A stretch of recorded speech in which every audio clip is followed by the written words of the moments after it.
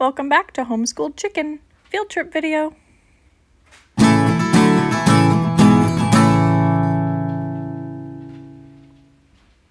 This week, my boys and I went to the Money Museum at the Federal Bank Reserve in Kansas City. They had lots of hand on exhibits for the boys and I to explore and play with. Um, one of the things is the Harry S. Truman coin collection, where they have hundreds of different coins from all through the American history. Uh, one of the coins that they had was worth over $200,000, so that was very neat to be able to see. Then they had this origami that was all made out of money. Some of these are made with $30 all the way up to $90 in each of these origami shapes. And they had a place where you could make your own origami. This was a 27 pound gold bar that you were allowed to try and lift. It was extremely hard to do. Some of the dads were able to do it.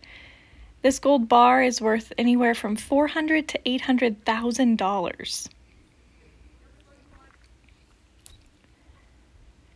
Then there was a section where they taught you how to spot counterfeit money and all the differences and watermarks and stuff there are in each bill.